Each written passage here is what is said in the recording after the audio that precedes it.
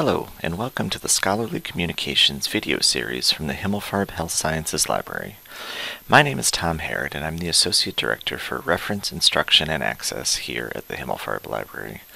Today, we'll briefly be talking about finding journals in JCR, or the Journal Citation Reports. Let's get started. Here's an outline of what I'll be covering in today's session. First, we'll look at what is JCR.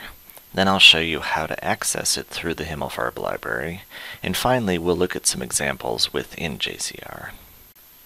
JCR, or the Journal Citation Reports, is a tool used by researchers and librarians to compare different journals within a specific field. Those comparisons are done uh, by use of a variety of metrics, including the impact factor, which are calculated using a journal's citation information. Journal Citation Reports is a database that's part of the Web of Science database, but it's also a standalone product available through the Himmelfarb Library. Here we are at the front page for the Himmelfarb Health Sciences Library, and I'm going to show you how to access the Journal Citation Reports from this page. First, I'm going to scroll down and click on All Databases. From there, I'll go to the letter J, and the only option for me here is the journal citation reports. So here, now that I'm on the JCR website, I can look up information about a particular journal. So I'm going to look up the New England Journal of Medicine. As I start to type, it will autofill, and here it is. So I'll click on that. Now I'm on the page for this journal. So if I scroll down, one of the first things they show me is the journal impact factor. So I can see that the 2020 impact factor for this journal is 91.253. Scrolling down a little bit more, I can see the five-year trend for the impact factor for this journal. So I can see 72.406, 79.260 a couple years ago. So I can see how it has trended over time. Scrolling down some more, there are other metrics that they show, like the journal citation indicator, and you can read a description there of what that means. Uh, uh, more metrics and graphs.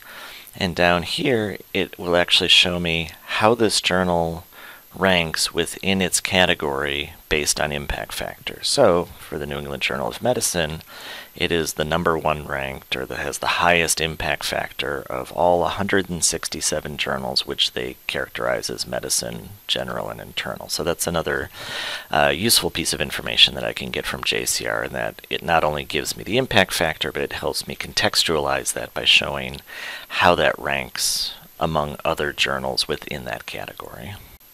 And if I want to learn more about the journals within that category, medicine, general, and, and, internal, I can scroll to the top of the record and I see the category that this journal is in is listed here. So if I click on that, it's going to bring me to a page where it shows me a descending order ranking of the journals within that category. So if I scroll down, I can see uh, the New England Journal of Medicine is number one. This is in descending order by impact factor, and I can see the other journals, uh, top journals within that field.